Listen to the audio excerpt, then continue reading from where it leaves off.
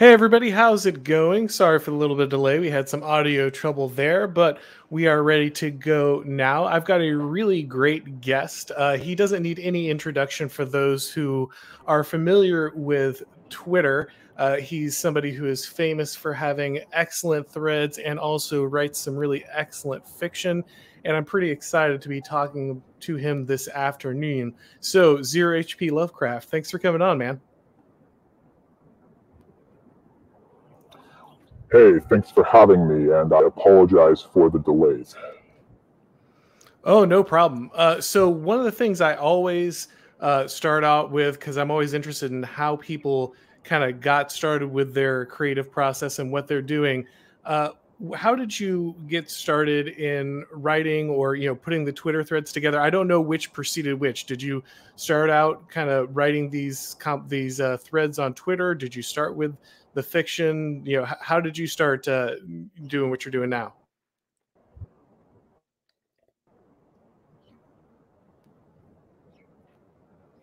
Uh, yeah, me, and uh, I was sort of immediately shocked, uh, taken aback by its popularity, and then I just started sharing my thoughts, and I was also shocked at the popularity of that. But as I became aware of what I was doing, I chose to continue. And uh, yes, every now and then I'm still sort of surprised that people want to hear from me. I guess some don't.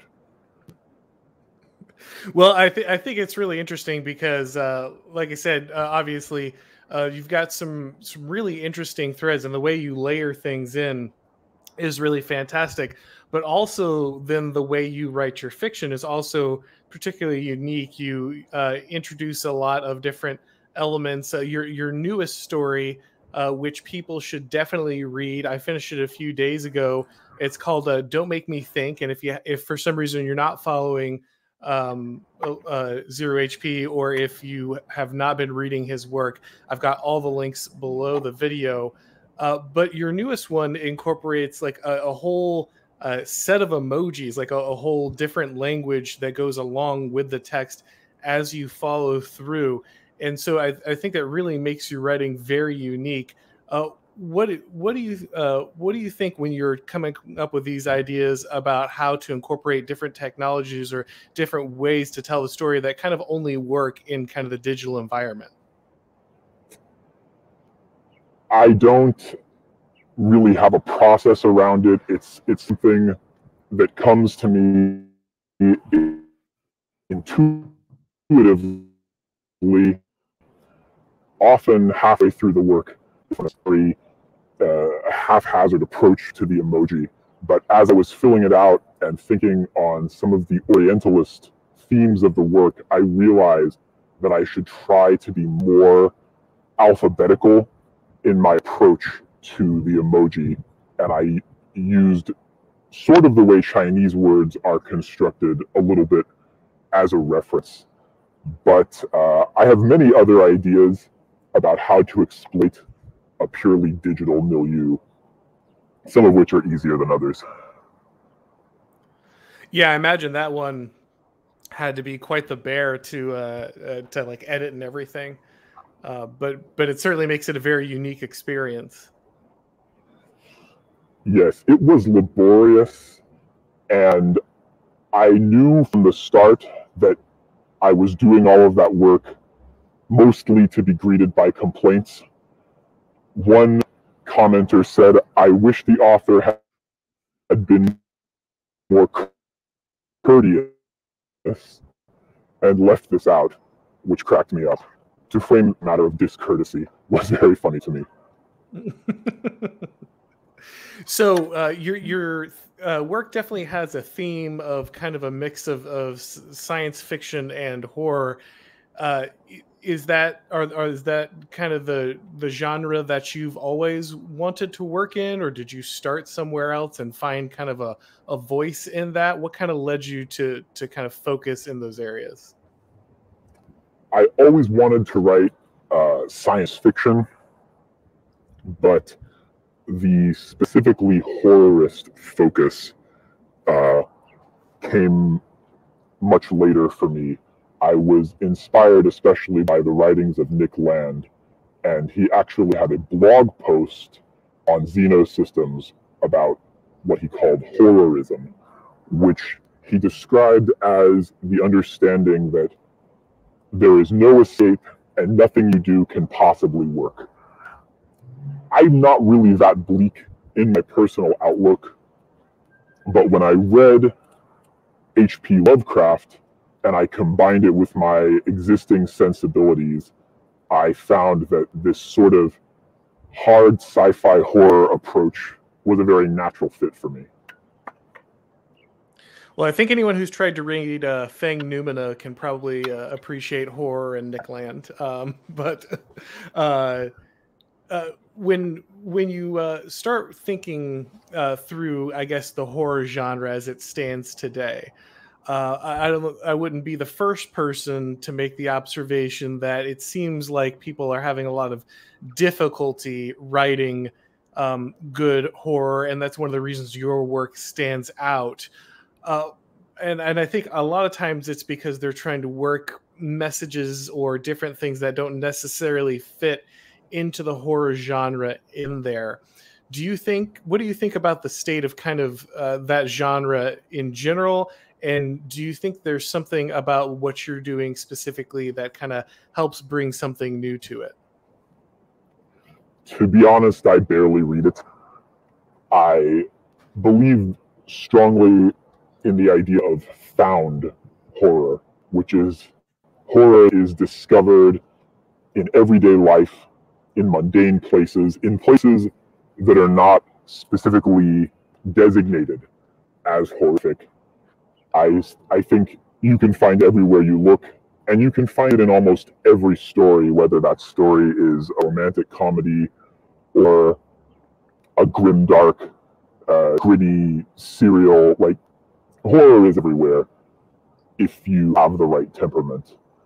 I think that lots of people say my work is polemical, even the fiction, and some of it is.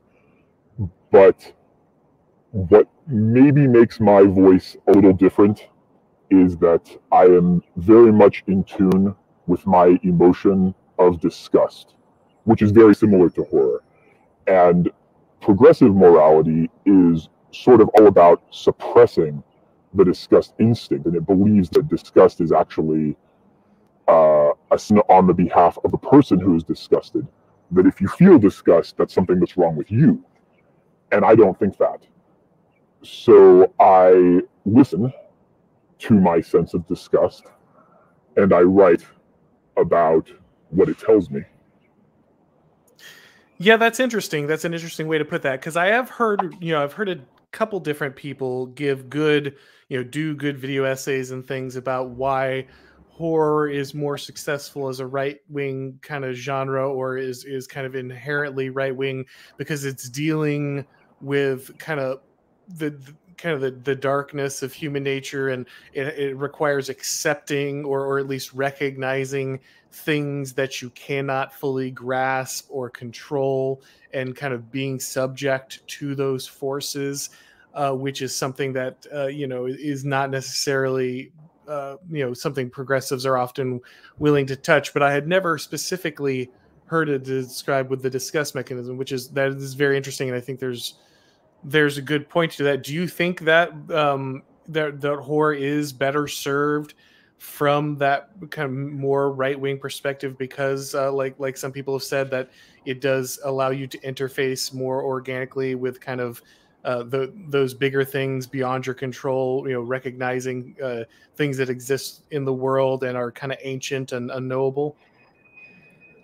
Well, I've talked about this a little bit before that I think there is both such thing as left wing and right wing horror. And with left wing horror, it's about finding something internal that you're afraid of. It's about walls that are keeping something in. And with right wing horror, it's about something external that you're afraid of. It's walls that are keeping something out. So a left wing horror story is one where the protagonist himself is evil but maybe there's all these things that are uh, social norms or life circumstances are constraining that evil and keeping it in. And so for left wing horror, it's about that evil finding its way out. But with right wing horror, it's the opposite. It's it's that there are walls protecting you and something breaches the wall. But we are we are marinated in left wing horror now.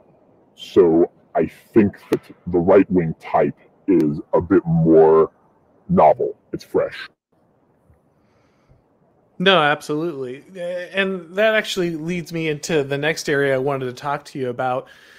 A, a lot of people uh, who end up on the right, uh, you know, they, they say, okay, we've got, you know, engineers or we've got, uh, you know, uh, business guys but uh, you know they're always lamenting the lack of cultural production on the right the lack of creativity the lack of creative minds. And so I, I wonder do you think that there's something innate about kind of the right wing mindset that does inhibit uh, that creativity? Or do you think that it's just the the current kind of cultural constraints that there or that maybe there isn't uh, the right um, you know the the right people aren't being exposed. What do you, do you think that there's uh, something to kind of the the mindset of right wing people or do you think that it's it's just kind of situational and it's a momentary thing? I think there is some gatekeeping that occurs especially at the level of like publishing houses or movie production studios and that kind of thing but i also think that if there's a mindset that is stultifying to creativity, it's not so much a right wing mindset as a as a centrist or a conservative mindset. So we imagine that conservative people are on the right. I don't actually believe that is correct. I believe that if you're conservative, it means you sort of want to stay with what you know and you want to stay safely in the middle of the herd. These people are painted as right wing, but, but is countercultural. And there will always be creative energy in countercultural spaces, be they left wing or right wing. So I think that Republicans are probably about as incapable of creativity as Democrats. Both are more or less comfortably in the center of the herd. But people on the edges are more able to battle these things. Yeah, I think that's right. I think um, because even the establishment, um, you know, Democrats at least in name, can speak towards transgression or you know, bring, kind of breaking out of the box. Maybe they allow a little more creativity on their side, or at least at least give lip service to the value of it. But because you have this, you know, uh, you, you have this inbuilt, uh, you know, kind of uh, uh aversion to that on uh, what is considered the cultural right, especially in America you don't you you see them being more careful about the create kind of creativity they'll embrace. So even when you do get right wing creatives, oftentimes you have people, if not censoring, at least not embracing and encouraging, or you know, uh, uh, maybe patronizing in the way that they would w- when it's a, a left wing creative, and that's something that because I like you said when I when I see some of those spaces on the right, I do see creativity. I do see people who are doing interesting things, but it feels like they don't maybe get, you know, the support or the excitement or the energy around them as much as they would if they were left wing.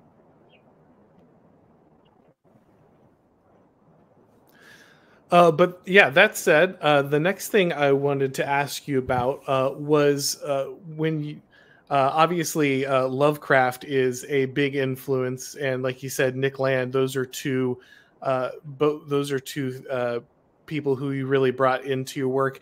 Is there anyone else's work or any other styles that have you know encouraged what you're doing now?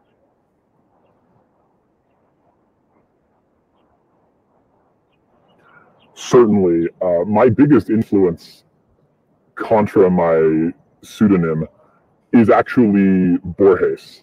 I think all of my stories refer to Borges in more ways than to Lovecraft. I've said as much. Uh, for me, he is simply my favorite writer, and he occupies a, a philosophical and literary space that I also want to share. Yeah, excellent. No, and I, uh, you know, someone mentioned it, and I, I, couldn't have put my finger on it, and I, I, hope you take it as a compliment. But I, I always think of uh, your stories a little bit as like if Philip K. Dick had added more horror elements in, uh, which for me is high praise. I love Phil, Philip K. Dick. So, but uh, but for me, I, when I when I'm uh, looking at your stuff, that's definitely uh, someone someone I think of when I'm reading.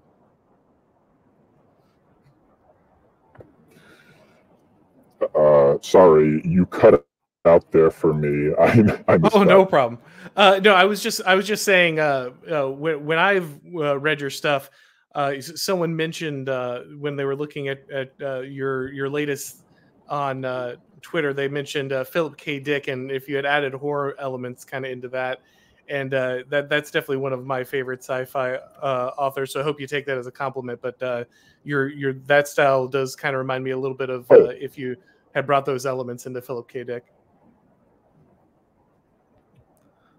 Yes, I I have actually only read one story by Philip K. Dick, though I have seen a couple of movies based on his movies. And thinking this year for Halloween, I will probably rebrand as Philip K. Dick Flattening just for a few days. uh, but I'm not extremely familiar with his work. Yeah, no, it's it's one of those guys who has been uh, made into so many movies, like you said, and and so and there are some great movies, of course. But uh, if people haven't read the books, uh, it's it's always worth it. Particularly, uh, Man of the High Castle uh, is one of those uh, that the way he writes in the voices are is is very interesting. The the different occupied parts of America, he almost writes as if the occupied people think in the thought patterns uh, of their or the speaking patterns of their uh, occupiers, which is very interesting way he does that. But uh, uh, but but yeah, I think it's it's for people who have not read his his work and have only seen you know he did you know Total Recall and Minority Report and obviously uh, you know was the inspiration for Blade Runner and all these different things. But the the books are are excellent.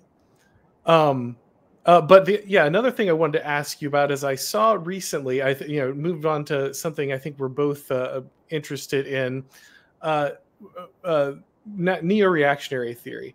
I've uh, seen you make some comments recently about kind of the difference between Moldbug and Yarvin, and I wanted to kind of get a little deeper into that.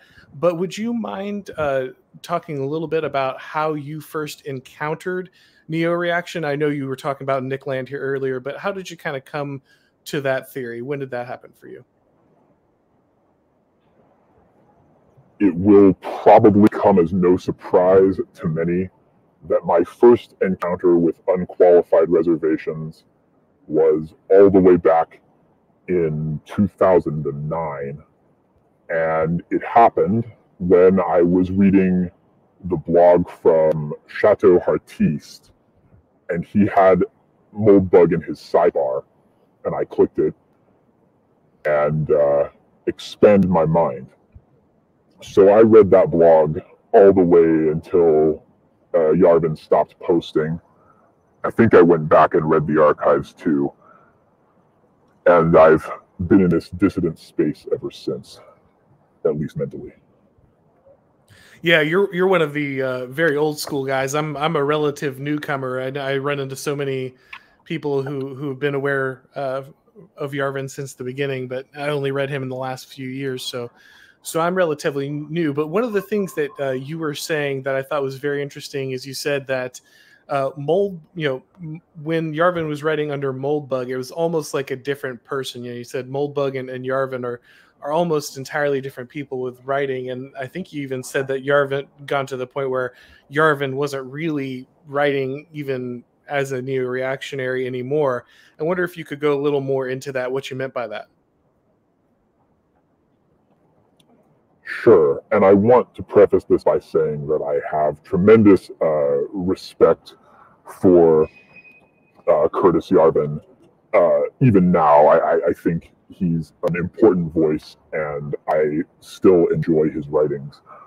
But the old Moldbug, uh, he was younger, the world looked quite different, and it was much more focused on establishing a narrative in a in an entirely not entirely, but in a much less known and much less explored space.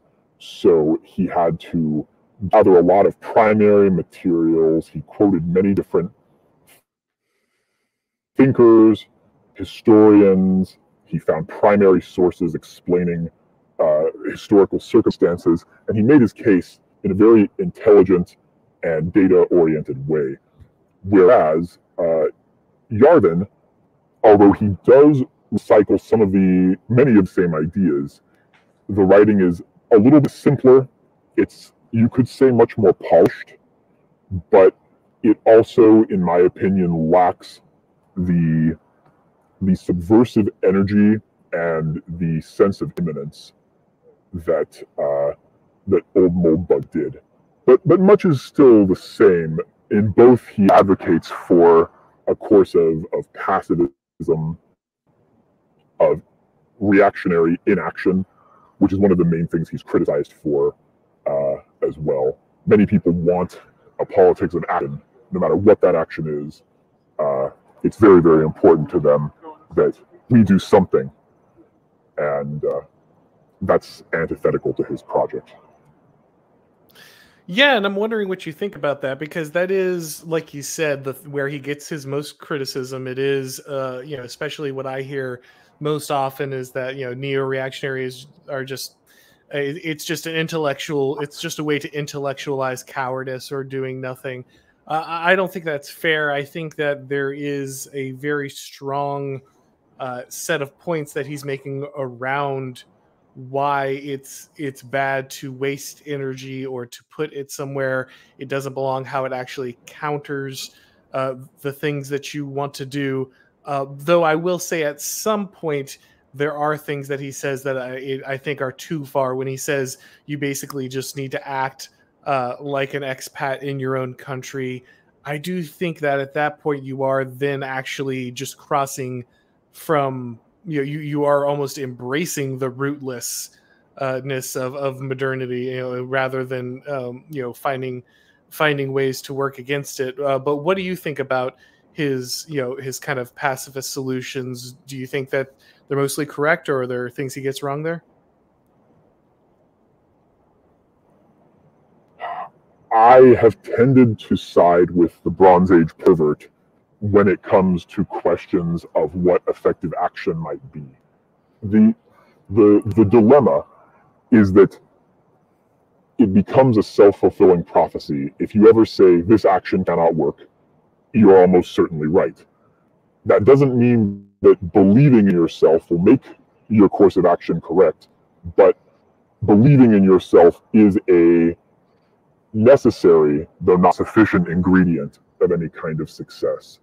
So I like that he advocates analysis and caution. I think, though, that there there does come a moment when one must be very decisive. I don't know what that moment is. And one of the attributes of a great leader is having the judgment to identify that moment.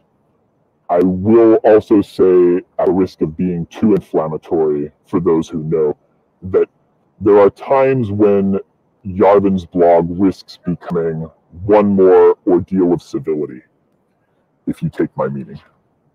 Mm. Yeah, I feel like um, I, I, know you're familiar with Lomez on Twitter, and uh, I think he strikes a good balance. I think he he he strikes a good balance between, you know, being wise and biding your time, but also not just writing off everything. You know, you you, you can't possibly win if you're if you're always just waiting. Um, but but not being foolish, I think, is uh, you know striking that balance is is the kind of the way to go. I think. Uh, but you you reference yes. BAP there. There is a and... very fine line between caution and cowardice. Right. Absolutely. Uh, but speaking of someone who's not, uh, you know, not, always from the cautious school, you you uh, mentioned uh, BAP there, Bronze Age uh, pervert, for those who are unfamiliar, and it was a uh, you know big deal on Twitter this week when his account was kind of finally put out of commission. a lot of people kind of climbing out of the woodwork, ready to you know to kind of you know, now stand over the corpse of that account and and finally you know speak their piece. What do you think about the banning? What do you think that means uh, for both the right and Twitter? And what do you think about the reaction from kind of different corners of uh, of Twitter there? For my part, BAP is still one of the best showing points that we have, and uh, obviously, I support him completely. I think that uh, ultimately these things do have to break out of their containment zones. I don't know what form that will take. But if you want to see what people really think of you on Twitter, deactivate your account for three days. It will have almost the same effect as getting banned. Hmm, interesting. Yeah, no, I certainly saw some some pretty laughable reactions. I saw, you know, some of the uh, disaffected socialist crowd suddenly coming up and saying, you know, uh, you know, the the right is no real threat to the to the system, and we're the ones who you know are really going to make a difference. And you know, BAP and, and and anyone who follows him are just you know they're just shows that show they're just uh, pawns. And I, I found that really hilarious that people with you know opinions handed to them by their college professors that they could hold in any corporate boardroom or high level position with almost zero pushback or talking about how the people who are getting banned are, are not the real threats to the system and they are. I, I thought that was pretty laughable. Yes today i read an article in the guardian which said that socialism is challenging to existing structures of power in a way that politics of race and sexuality are not. And this is exactly what every socialist on Twitter who thinks they're edgy says. But it's like your words are printed verbatim in the biggest newspapers. Uh, the cognitive dissonance there, it just it can't be defeated by by argumentation. No, most certainly not. They're, it's one of those things that either people observe it and they understand the truth, or or they don't. And you're certainly not going to argue them out of that position at all. Um, but I, like I said, I just thought it was very interesting. And you had a great, uh, you had a great thread talking about, uh, you know, Bronze Age pervert because you know I, I, he's not, you know, uh, directly in my wheelhouse, but he's one of those guys. I, I like what you said. You know, um, by by kind of investing in everyone and and kind of promoting and, and giving a, a kind of a, a positive force for people uh, it kind of brought people together. You know uh, he started retweeting my account when i had you know 3000 followers or something. And uh, and uh, i would be nowhere near as successful without you know uh, guys like him. So it is somebody who even if you didn't agree with 100% with whatever he was saying. It was a, like you said, it was a, a, a kind of a point that kind of connected the community and, uh, and, and built it in a way that few other accounts did.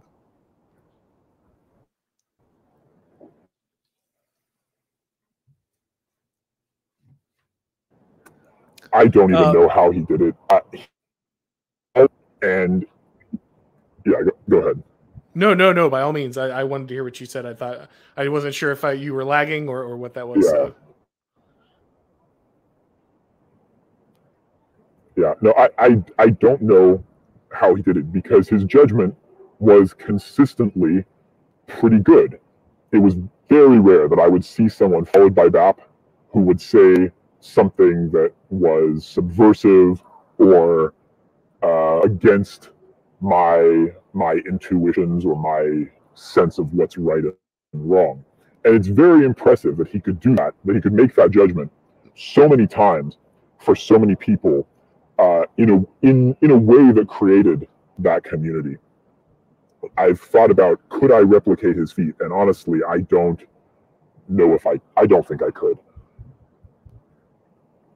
Yeah, no, it was it's definitely very interesting, and uh, it, I know he's moved over to Telegram. I, I, I hate Telegram, so I, I don't use it. But if people want to uh, uh, to follow him there, they should definitely check that out. There's a lot of people, guys like Morgoth and the Distributist, who are no longer on Twitter, but you you can find over there. So if if you're looking to uh, stay in contact, and I think there are Twitter accounts that are just reposting uh, what he he puts there, but obviously not having him directly on the platform eh, there there is a difference there but you can still find uh, find his content if you're looking for it.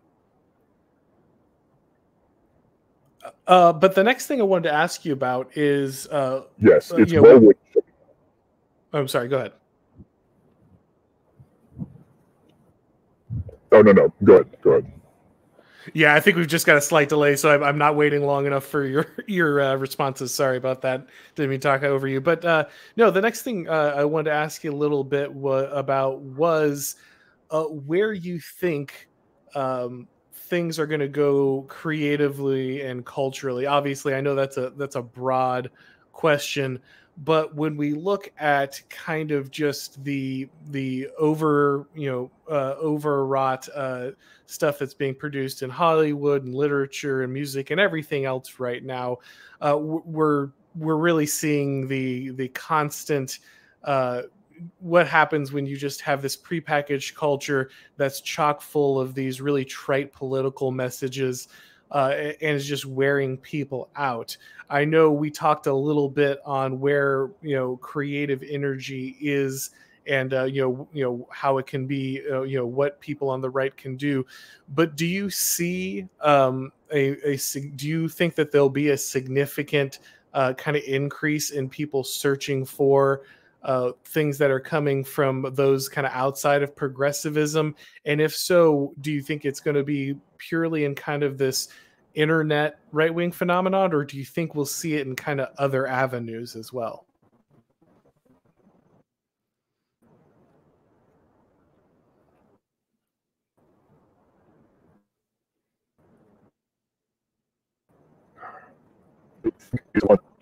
the creative works of of the present to the work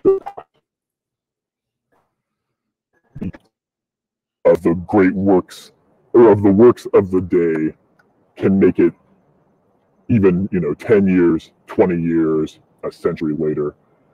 And if you think about like if you go back five centuries can you name more than one or two books from that time? Maybe you can because you exist in an unusual discursive base. But I don't think most people could. I'm not sure I could. Uh, so I, I can't make any broad prognostications about that. I think that most work just falls by the wayside and always will. And all anyone can do is try to be one of the, to be one of the exceptional ones. No, I think that's true. Yeah, we we I, I, guess we're all looking for the next big work, the next big movement, the the landmark that's going to carry through the ages. But the truth is that majority of culture and, and art is you know is of its moment and and and doesn't necessarily you know uh, become epic or breakthrough and and I guess it's probably valuable for people and content creators and everyone to remember that that that's you know that it, you don't while you hope that someone is reaching for the stars or knocking out a part is going to define kind of the next uh, you know cultural movement that's not necessarily what the majority of the thing these kind of things uh, produce. That's not what they happen or how people set out to make them. And and you have to be able to to, to be able to aim small to you know be able to just make something and put it out there uh, and and let people enjoy it. And if it grows from there that's great. Um, but if you're if you're always just swinging for the fences and you're only looking for that big move then uh, you might miss some really great stuff.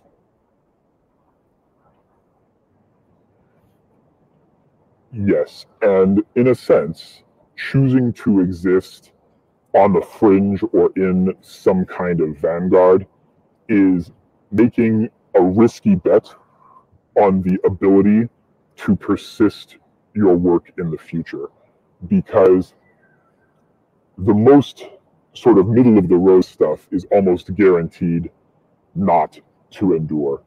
But if you do talk about defining a movement, an aesthetic movement, I mean specifically, then you have to do something well outside of prevailing norms. But most will still fail. Sure, absolutely. Eh, well, and that you know that brings me something to something that I should have asked when we were talking about Yarvin before, but I, I wanted to ask you and kind of pick your brain on what do you think of the mainstreaming of Yarvin and kind of you know the basic neo reactionary ideas. You've got Fox News host referencing the cathedral. You've got uh, Tucker Carlson talking about how much he likes Yarvin when he's talking to Anton. Uh, what do you think about that? What how how do you think that that will get applied? Is it is it all going to get hollowed out and, and watered down for the mainstream? Is there going to kind of be a connective bridge, or you know what, what do you what do you think is going to be happening with that? Tucker himself is barely tolerated within the Overton window. And it's sometimes surprising that he's allowed to do his show at all. But you'll notice the really dangerous topics, the ones that actually mattered, uh, and I'm talking about the events of about six months ago, seven months ago, he was silent at the time it could have mattered. And that's look, he's trying to put bread on his table the same as everyone else.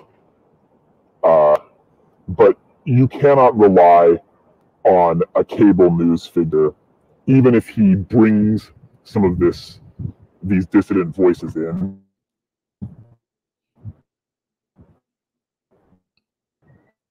What we want, what we hope, is, is the tip. I tend to be pessimistic about it but I'm it's a little too soon to say. Yeah, you certainly don't want to. Um, you certainly don't want it to, like you said, to hang on one uh, news host. The thing that I think is more interesting to me is really that some of the more establishment uh, right wing um, uh, kind kind of not academia, but but the you know the think tanks, the idea spaces, uh, places like the Claremont Institute and kind of others uh, like that, the intelligentsia uh, seem to be more willing to uh, to interact with those ideas, and I think that matters far more than uh, than a than a Fox News host. Uh, you know, well, well, it, would be hilarious to you know have my grandpa talking about the the cathedral. I I much more interested in the way that kind of thought leaders on the right seem to be more willing to talk about or interact uh, with those ideas because in the end of the day they're the ones if anyone who's going to probably carry that into a place where it matters. Yes i don't believe that there is anyone in the gop who is going to be able to help us in any way at this time. But it is very interesting to watch these ideas that were almost unheard of 10 years ago percolating out a little bit because really the, the right wing thinkers, the conservative thinkers, have no choice. There's no other intellectual center they can go to. They're starting to see that they can either become that Stonetoss comic where, you know, they get a bunch of piercings and blue hair and go saying that, uh, neo Leninists are the real transphobes. Yeah. That's one path. and then the other one is to look here. So which way Western GOP? Yeah, no, I 100% agree that uh, as it exists now, the Republican Party is uh, is is far more of a stumbling block than it is anything that's going to help, uh, you know, people kind of uh, of our persuasion. But I do think it, like I said, I, I do think that it's interesting that um, these these think tanks these uh the intelligentsia they like i said they don't really have anywhere else to go. No one who came up through their the university system or came through you know their different organizations was really allowed to think in these directions. And so there's an entire like kind of uh, political uh, thought architecture that exists outside the system and can only really be found over there and for once uh, the right has to actually interface with you know its radicals really. This is something the left does all the time. You know they take ideas from their radicals and, and they don't always implement them 100% but it gives them you know a lifeblood. It gives them new ideas. It lets them circulate in new talent uh, which is i think a massive advantage for the left that the right has simply not had the option to do.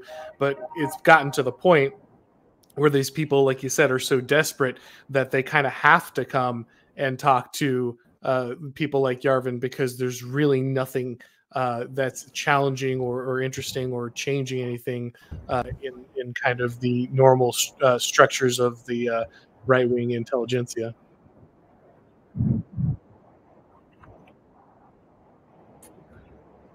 Have you? You probably have listened to a talk by Jonathan Bowden on vanguardism. And this is exactly the point that he raises in that talk that the left does draw their energy from their radicals, and the right has so far refused to. But I think the world could be very different if uh, if they started to listen to their vanguard. No, absolutely, and I think um, I think that is really the question here: is will will uh, you know will enough people be willing to take the the next step and and you know uh, put themselves out there to listen to the vanguard, or will it just die? Because I think those really are kind of the only two options, and and I'm glad to see at least some people seem to be willing to take those steps. Um, but we have a few questions for you that I wanted to run through real quick. Let me grab some yes, of these. This is chats. also why. What are you doing on Twitter? Oh, sure, sure. Oh no, no, I'm sorry. Please continue. Like I said, I'm sorry. I'm transitioning because I'm used to, and we just have this delay, so I keep talking over interesting things you're saying. Uh, you uh, please go ahead. What you were saying with uh, Twitter there.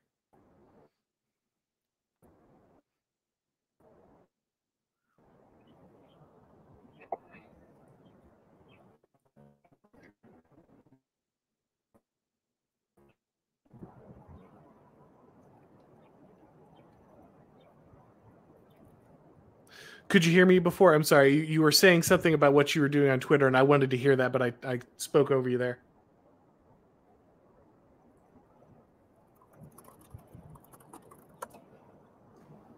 Yes. I was saying people ask, what are you doing on Twitter? What are you going to accomplish by posting? You know, uh, why are you saying all these things? And the answer is what we just discussed. I am trying to drag people kicking and screaming into the 17th century. Yes, absolutely. It's a good. It's a good uh, catchphrase there. I like that. All right, so let me grab some of these super chats real quick. We have the Prudentialist here uh, thank you, sir, for the support. And he said he just finished streaming. Looking forward to this. Yeah, guys, if you are not uh, subscribed to the Prudentialist at this point for some reason, make sure you're checking him out. Uh, we have the Doomgoy for two dollars here. Says, uh, "When is Tucker hopping on the stream? Oh, he'll be here soon. I'm sure. He's he's probably waiting in the room. I should have let him in. Uh, let's see. Uh, there, here we go. Is an actual question. Uh, Margin Walker says, "Good evening. Uh, what's Zero HP's take on the short Lovecraft biography written by Michael Houellebecq or on Houellebecq in general? Are you familiar with Hollenbeck's uh, biography?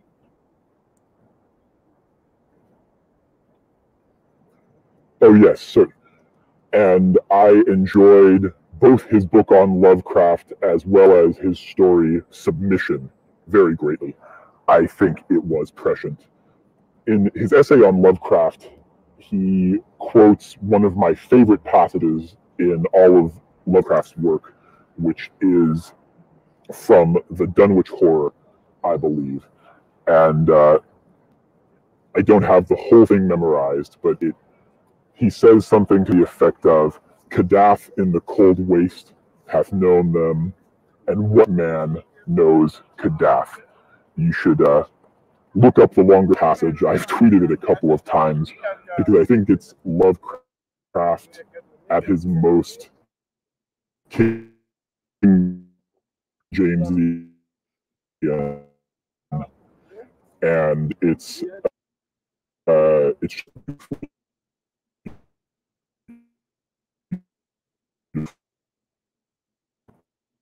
I shouldn't say that.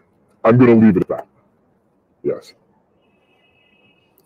All right. And then he had another question for you here. Margin Walker again says thoughts on the art movement of uh, symbolism.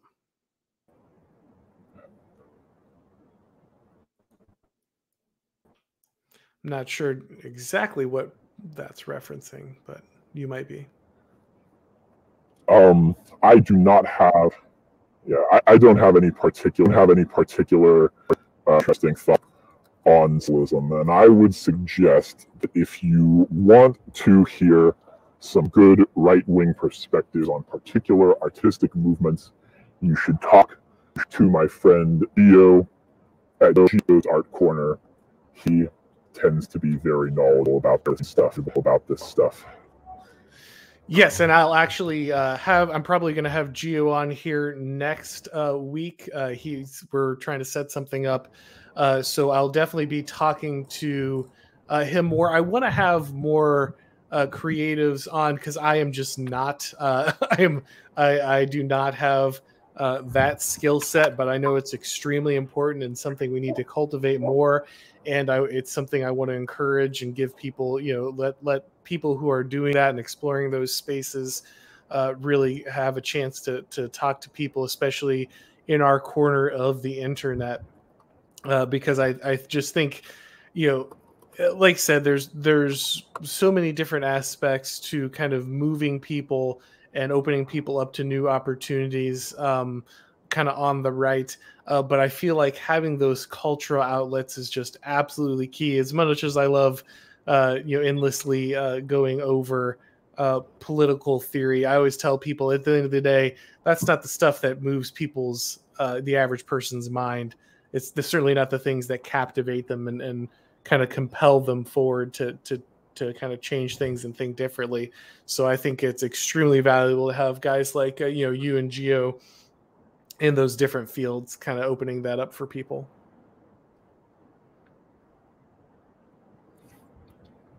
Yeah, thank you. I believe that storytelling really is the only way to change the uh, sort of the bios of, of the way people think. It's not really done through preaching, it's not really done through theory. That can reach a certain type of person, it can reach maybe a person who considers himself to be an intellectual it's the mass. Yeah, absolutely. It's it's one of those scenarios where it you you can throw all the theory and and you know uh, everything you want, all the systems analysis at someone you want, but really building it into a narrative and, and opening things up for someone like that just moves them in an entirely different way, uh, which I, I think is really essential. It's you know we've I'm sure we've all made this criticism a thousand times, but you know the the Ben Shapiro hypocrisy, uh, uh, you know, version of you know laying out all the facts and logic is so kind of useless in in our moment. A moment where you know you can you can destroy someone's every single argument, and it really doesn't matter because you're not actually interacting with them on the level of you know their belief system or you know the way that they see the world and so it, it really you you can pe- this is what drives me nuts with with uh, you know the current pandemic situation. People will sit there and lay out statistics and and you know effectiveness of different you know vaccines or infection rates or whatever thing as if if they as if if they stack up enough data we won't get vaccine passports you know as, as if you know we get we get enough uh, you know data together and there won't be lockdowns. Pretending like that is actually where the argument is taking place i think is is kind of silly at this point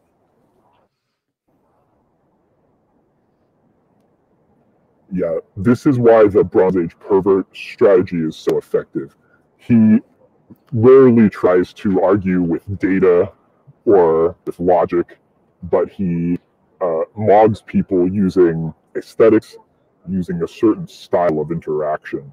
He says, You must submit. And the maybe horrific thing to understand about that is that this actually works just telling people you must submit. There's a certain number of people who just hear that and they think, yeah, you know what, I will. I will. That's terrifying in its own way. Yeah, well, but I think that's you know I think that's a big part of what you know uh, people will call themselves reactionary, and then they'll uh, completely dismiss the power of something like what you just said there.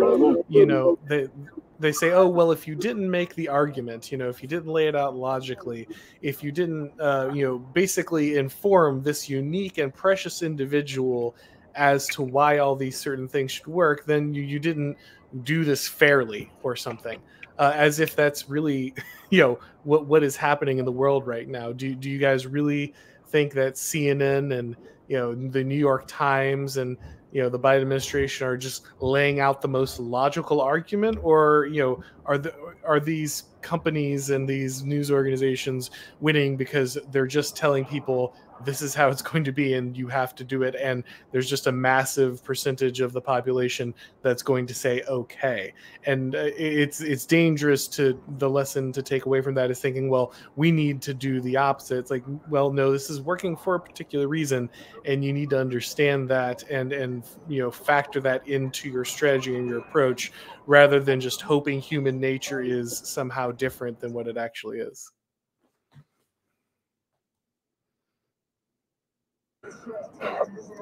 Yeah, if you want to see kind of like the seams in in the instruments of control, this observation is pretty banal, I think, for many people. But when you watch like a news broadcast and they talk about some event and you event and you're supposed to have a certain supposed to have a certain react have a certain reaction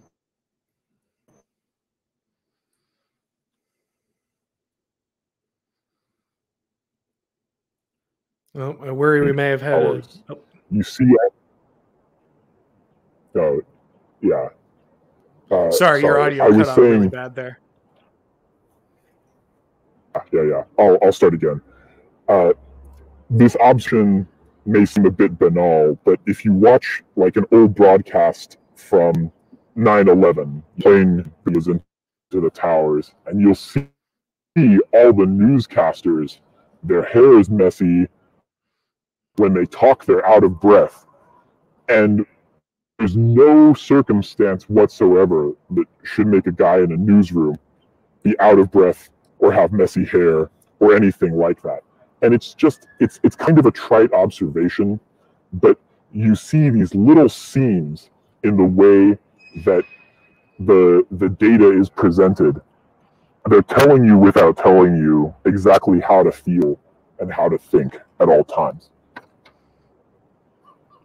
Yeah, absolutely. And and I'm not anybody who worked at a high level in media, but I am someone who, you know, uh, who wrote for newspapers and such. And, you know, we would get, you know, you'd get a poll and they'd send you the poll and you're supposed to write, you know, a story on it. And the poll is just prepackaged. It's it's ready basically for you to change the words around and then just turn around with the conclusion. They're handing you and move on. And the vast majority of reporters are never looking you know for they're they're they're lazy people they're not going to bother uh, to do anything else. And so the, you know these low level functionaries who are just there to churn content um, you know they're they're just taking that and that's why so much of your news is the same. It's it's all really getting handed down to all these different outlets by the same few uh, actual you know brokers uh, you've got an AP wire and and and some of these uh, you know think tanks or uh, these different departments in major universities, and they're literally just spoon feeding these reporters prepackaged stories. And then, like you said, when they come on and they do the performative stuff, if they're on air people, you know, they're, they're all taking those cues and delivering them. Uh, you know that you're, you know, like you said, there's there's none of this is organic and none of this is uh, you know, un, unbiased, just feeding you these things. They're they're already pre. There's always like already a way you're supposed to feel, and it's already being delivered to you. Yeah, they're actors who couldn't make it in Hollywood, and all of their stories, from as you said, from about three organizations. There's Associated but these three organizations make all of the news. Yeah, absolutely. Oh, we had uh, someone clarify on symbolism there. Symbolism was a reaction against technical and scientific progress with an emphasis on the irrational, as is most horror. Okay, well, that would definitely make sense why you had brought that up earlier. Thanks again for your support. I really appreciate that. Okay, uh, I, think... I, can talk about that briefly. Uh, oh, sure, absolutely though I, I do have to be going soon. Uh, so I think I, I talked about this on another podcast, uh, which will be coming out soon with uh, Alex Mershak, I believe is his name. And there's sort of a schizophrenia on the right in that we have this this reactionary uh, stance against technology in general and because we often see it as a vector of the progress that we dislike. But at the same time, when we lament things like uh, dysgenic collapse, uh, IQ going down over time, despite what you know the Flynn effect tells us, we can find these sort of hidden oblique evidences that in some ways people have gotten a lot dumber um, one of the things we're lamenting is that we're losing the ability, maybe, to develop new technologies. So it's very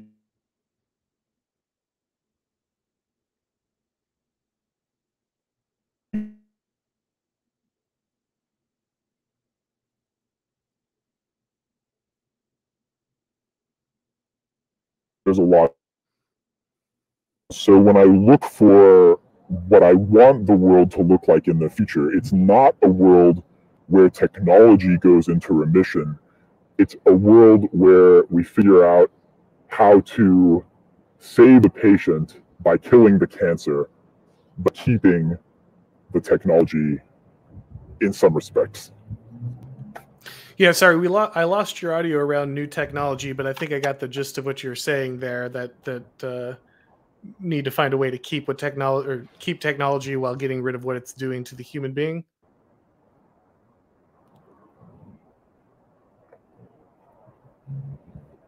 Yes, exactly. If it's possible.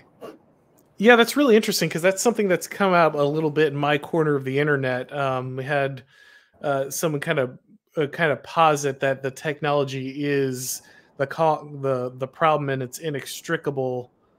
Uh, and I'm going to be honest, I think that might be true. I know that makes me like a bad neo-reactionary, um, but uh, but I have I have the instinct that that's correct. I'm not sure what to do about that, but I, I don't know that it's escapable, and I don't know if it's something that we can't that we can i don't think that we have the discipline to stop ourselves i don't know if that's a purely faustian thing or if that's a, a human thing in general but I don't think we do have the the ability to throw the brakes on, and and we're just gonna kind of follow that to the end. Uh, though maybe that level of doomerism does make me a, a good neo reactionary. I'm not sure. I think you're well within the dissident Overton window there. uh, I would say that I'm at my most optimistic uh, when I try to reason about the idea that they have conflated technological development with social change, and that these two things are not necessarily well, they are linked, but but the thing that they call progress is only one direction in social norm space, and there are others that we could explore.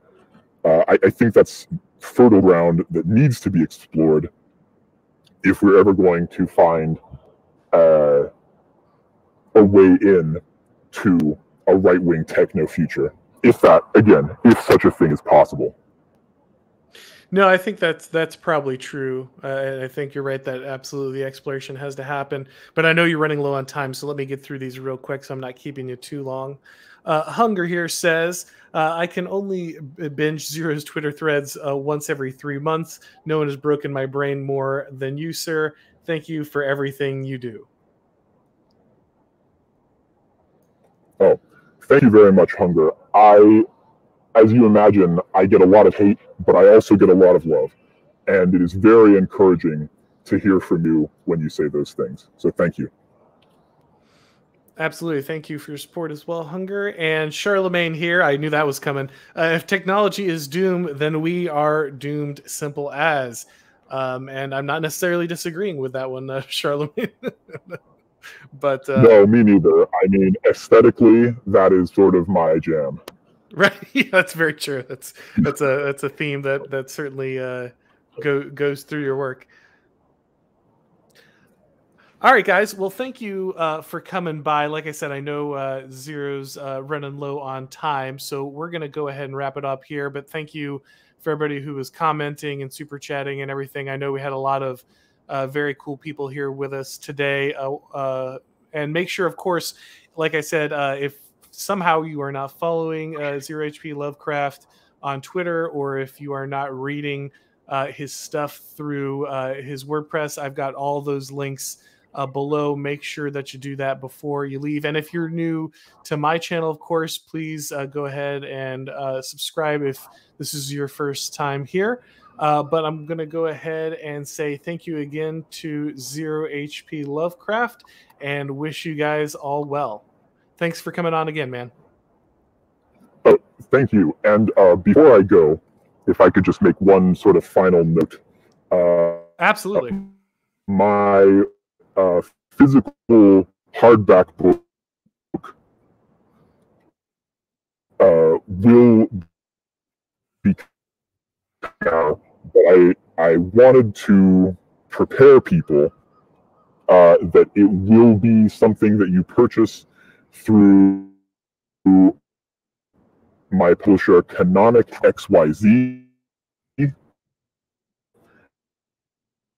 and that the transaction is wish purchase the book uh, you will have my tremendous gratitude but i will be putting one additional uh, barrier to entry on that. So please be advised that it will be purchased using uh, Bitcoin Satoshi Vision. Thank you. Absolutely. So yeah, make sure you look for that. And I didn't say enough uh, about the the newest one, but uh, don't make me think was uh, just released. I think you know about about a week, week and a half, and everyone should definitely be reading that. It's uh, it's very interesting. It's very different. Uh, so make sure that you check that out. Make sure you check out his uh, hardback when it actually comes out. Thanks for coming by, guys. And as always, We'll talk to you next time.